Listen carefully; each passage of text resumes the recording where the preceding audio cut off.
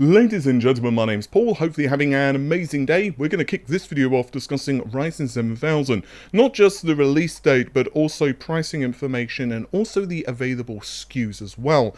I'm sure you'll agree that the release date is great, but, well, what's the pricing going to be and how are AMD going to segment their lineup, particularly given Intel's Raptor Lake does give Intel a lot of advantages perhaps when it comes to kind of divvying up core counts for their various SKUs since they have well, more cores to work with.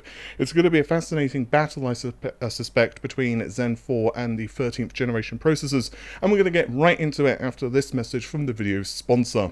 If you're running a copy of Windows 10 which isn't activated, of course, not only do you have to worry about the missing customization options, but there's also that annoying Windows desktop watermark reminding you to activate. Today's video is sponsored by WhoKeys.com, and they've an excellent price on Windows 10 Professional as well as Home Keys. Yeah, and they also of course sell games. I've bought a few Windows 10 keys with my own personal account to test everything was legit and worked in preparation for this sponsored video you can pick up one of their keys for 25% off using the coupon code RGT in the checkout. There's links to their website in the video description. Also, if you're building a few systems, there's bundles available too. Again, you can check out whokeys.com and use the coupon code RGT for 25% off the listed Windows 10 key prices. I believe it was wxnod who first posted this image onto the internet. Now, where they got this image from, I don't know, and also which event was, well, this even taken in? Again, we don't know. It looks to be some type of local event, and I have actually attended kind of events like this myself previously with companies like MSI.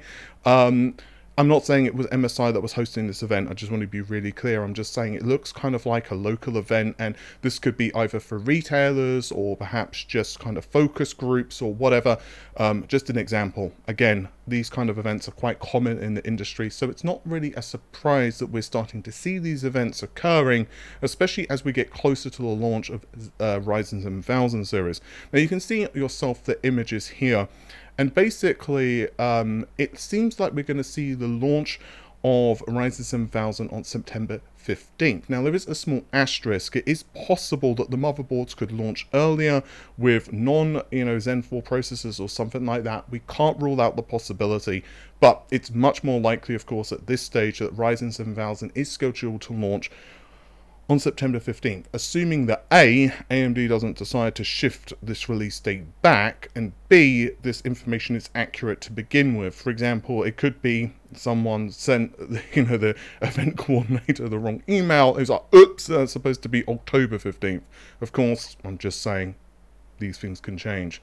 But honestly, September does seem like the most likely release date for Ryzen 7000 series. We've discussed it on the channel several times before. September does seem to be roughly the window that AMD are aiming at.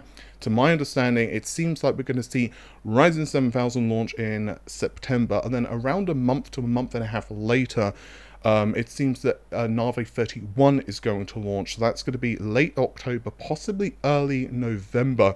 Navi 33 is looking to be around well, let's just say end of that, end of this year, excuse me, or possibly early next year. Quite frankly, I've heard tons of conflicting information regarding N33, and it gets a lot trickier when we look at the flood, to be honest with you, of inventory from GPUs at the moment for the whole mining thing. And second point, of course, is that AMD have recently refreshed its RDNA 2 lineup. Early next year, though, we're going to start to see Phoenix launch. I believe the schedule is still going to be showing this at CES, and then later on, we're going to see N32. So basically, AMD's lineup is going to be kind of packed. But of course, getting to another very important point, what about the available SKUs? The best way I can really put this in a succinct format anyway, and we'll go further into what Greymon himself has said in just a moment on Twitter, is it seems that AMD are basically mirroring what they did with the Zen 3 launch. Um, this pretty much matches what I've said on the channel a few times before. The highest in SKU is basically to be 16 cores, 32 threads, um, obviously, you have the small IPC gains over Zen uh, with Zen 4, excuse me, but the massive clock frequency advantage, and so it's going to be a very impressive processor. Outside of this, we're going to see the 7900X, 7800X, and the 7600X, and then potentially later on, we'll see the 7700X, but it doesn't seem to be available at launch. I suspect that we're probably going to see a couple of weeks in between these processors, but honestly, it's kind of hard to know at this point. AMD are changing their plans on a dime, and again, I really want to stress this, guys. The competition between AMD and Intel is really fierce at this point. I think we all know this, and it's going to be interesting, to be honest with you, to see how it's marketed. Um, this is going to be one of those games where, you know, just an inch can make a huge difference. What do I mean by that? Let's just be really silly and say that there's a game. It doesn't matter what the game is. We'll just call it Barbie's Funhouse. And let's say that you get 100 frames a second on Zen 4. If Intel can get like 101, my goodness. they, the, the benchmark graphs, they're going to be zooming those things in so that the, the difference in the graph is going to be like that. It's, it's not even going to be a disparity. It's going to be like a cosmos difference. It's going to be absolutely ridiculous. Of course, I'm slightly exaggerating, but you get the idea of what I'm saying here.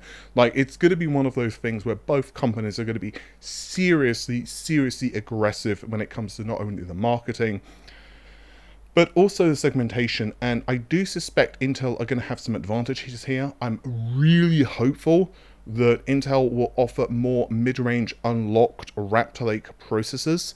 Um, and also, I just want to tackle something that I've mentioned, I believe, a couple of times anyway, but I just want to throw in here because I know people are going to ask, what about the Vcache processors? AMD have confirmed, of course, that they are incoming, but to my understanding, it's going to be in a plethora of SKUs. I, I'm almost positive it's going to be the 7950X and the equivalent of like the 7800X is going to be receiving the Vcache variants. I don't know if the other ones like the 7900 will be. Um, and it just makes sense. AMD are going to be doubling down on this technology. I have heard, you know, with the um, Okay, my brain is just like gone blank. 5800X3D. There we go. It was a hard thing to remember. The 5800X3D, uh, one of the big problems with it, outside of the cost being kind of prohibitive, of course, is that the you know the temperatures start to go up. I've heard through the grapevine that AMD have made some serious inroads here to getting the temperatures down a lot and improving this uh, through multiple methods, which are slightly outside of the scope of this video to discuss because I'll be here all day going through that. But bottom line is I think that we're going to see AMD really just leverage this technology. I'm also hearing it's going to be in mobile SKUs as well, but I'm going to be discussing that in an exclusive video because I'm working on a couple of things at the moment with some mobile SKUs. I was going to put it in this video, but yeah, um, it's just a lot to go through, so this video is going to end up like really long otherwise. And furthermore, I need to double check on a couple of things before I put the information out there, but I do believe AMD are going to be really pushing Vcache for mobile. How about the prices? Well, there was a tweet that Greymon put out briefly, and he essentially uh, stated that the prices are going to be quite similar to that of what we've had um, with the launch of Zen 3. The issue is um, it's still several months until launch. And so when it comes to pricing, not only can pricing quite literally change like five minutes prior to launch, but also that information could be wrong anyway. Now, my gut feeling, honestly, is that we're going to see a small price premium over the previous generation. I have heard the AMD strategy, and it makes logical sense, is to basically use AM4 as like the, you know, the entry-level platform. Uh, AMD, I think, have even said this. Um, I believe maybe that maybe I'm maybe I'm just like imagining that, but I think they've said it in an interview. Someone correct me in the comments if I'm wrong, but I believe they said that, and I have heard as well that that's their strategy. So there's probably going to be a price premium for AM5. Um, that does kind of worry me for the 7600, you know, the six core processors. I don't know. That's gonna be that's gonna be interesting. Um, I'm gonna be I'm gonna be very interested to see how AMD handles that. Um, obviously, there are cheaper board options, which is good, um, but the real the real win here for AMD is that DDR5 memory prices are going down. It's going to be particularly interesting to see how um, bandwidth, MTS, transfer rates, if you will, and latencies affect something like the 5600. Um, because that's going to kind of let you know how much you can get away with when it comes to like memory because obviously you know tighter timings and faster memory and all of that stuff does cost a little more but again, just to reiterate, the prices of DDR5 have come down quite sharply. Um, and perhaps we can all thank Intel for Alder Lake in that respect because obviously at the end of the day, one company has to break ground. AMD have done it in the past, Nvidia have done it in the past, and at this point, Intel are doing it, which is great. I'll be very interested to see how this affects um, Raptor Lake because I believe DDR4 memory for the mid-range should be absolutely fine for Raptor Lake. DDR5 though, um, I think for gaming workloads, I was told that the 13900K can't saturate. Um, uh, sorry, for gaming workloads, DDR4 should be absolutely fine unless it's like hideously slow. Like if you're running like 2133, you know, memory, then well, I don't even know what to say to that. But if you're using reasonably fast DDR4 memory, um, a 13900K should be okay in gaming workloads generally. But heavy gaming workloads which just use tons of threads, tons of cores, or more realistically other workloads like you know simulation work like Adobe Premiere, uh, 3D rendering, that type of thing, which are going to be a lot more memory bandwidth intensive. I've heard there could be a bigger difference between DDR4 and DDR5, but that shouldn't impact you know the i5s. So it's going to be interesting to see how you know the community kind of figure the best bang for buck because you know I'm not going to say a really obvious point here, but not everyone has like a two thousand, three thousand, four thousand dollar budget for a build, and so you know it, it's like it's great to talk about processors like the 13900K or you know we're going to talk about Nvidia's lineup in a moment like the 1490 but of course that's not realistic for everyone.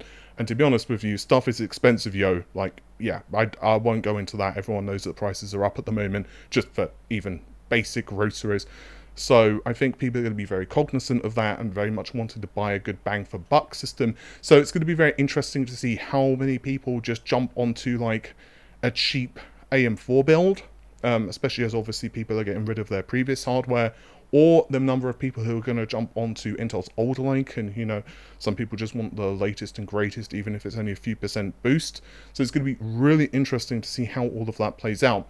But now we're going to move on to NVIDIA. So just a brief update from kopite7kimi in terms of the power consumption of RTX 40. Basically, some of the SKUs have been reduced a little bit quote unquote, in power consumption.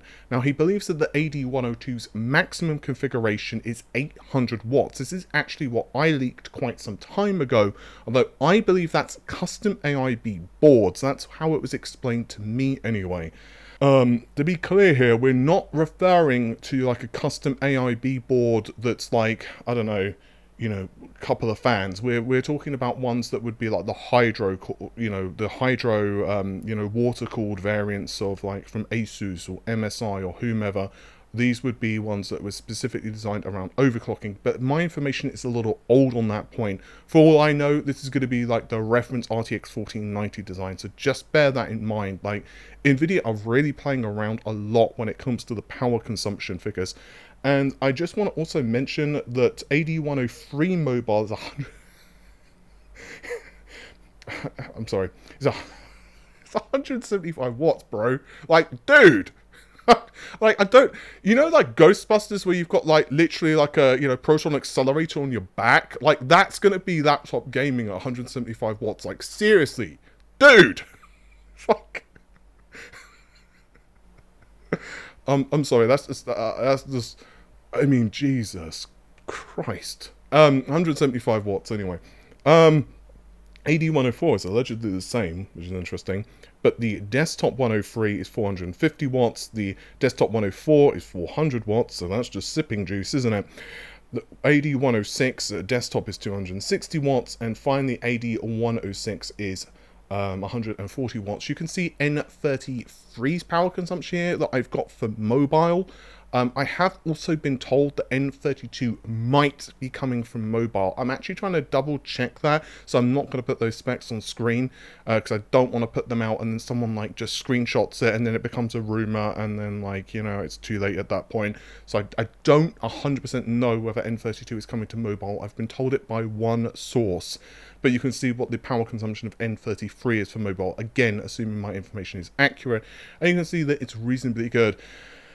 Um, yeah, I mean, outside of the mobile side of things, frankly, I personally don't care so much about the power consumption to a degree. Like, the biggest issue I have is that well, first of all, power bills are just up at the moment in general. But outside of that, it's like just cooling it is the problem. I know that's a really obvious thing. That's like saying the only thing that's you know the problem of the house being on fire is the fact that your stuff gets burned. It's you know a really dumb thing to say, but just trying to actually cool the thing is just like the the big challenge. Like it's not necessarily the heat it puts out into the room, um, because I live in the UK, so you know winter it's fine. Uh, summer, you know, it sucks anyway, so just a little bit more suck. You know, air conditioning, I've got one. Again, this is a personal thing. I understand it's completely different for everyone, and that's totally understandable. But yeah, like 800 watts is a lot. But I, I still think it's going to be more likely to be like a 600 watts on average for like a 1490. But there is the Titan variant. Now, it is worth noting that Company previously had said, I think it was like 900 watts. And I have personally heard that when overclocked and i want to stress this is this is the problem with these rumors because like you can be told something but you don't know whether it was overclocked whether it was just like you know that's just what they were testing whether it was like a specific SKU or what. But i have been told that there was like an overclocked test. I think it was overclocked anyway. The least at least the way it was described to me that pulled like a 900 or 1000 watts. But that seemed to again be just trying to test the limits of the silicon and not necessarily what was going to be launched to customers. But then again, with Titan, who knows, right? Like that was before the Titan rumors. So I honestly don't know, guys. It's going to be very interesting. Um, and that, I think, is putting it mildly. With that said, I think that's just about it for this video. You know what to do. It's YouTube. If you've enjoyed the video, leave a like and also check out my PlayStation 5 Pro video uh, which has also recently gone up if you're interested in console stuff, or also the metaverse and just gaming in general, because there's a ton of very interesting topics I go through in that video. With that said, thanks very much for watching this one. I'll see you soon. Take care of yourselves. Bye for now.